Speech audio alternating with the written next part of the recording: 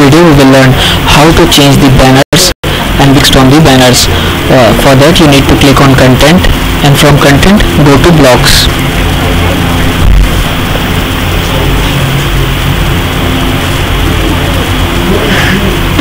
now in the block section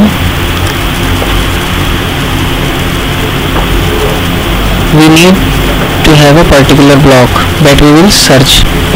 Uh, in the identifier section you have to search sample underscore slideshows underscore 1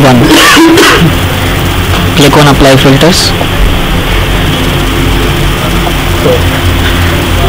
So uh, in this block we are having all the sliders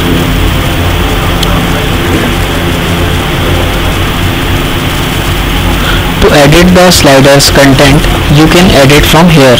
As you can see these are the text that you want to change. From here you can change the URL of the banner or the image of the banner. And to change the URL you need to edit this section to change the URL thank you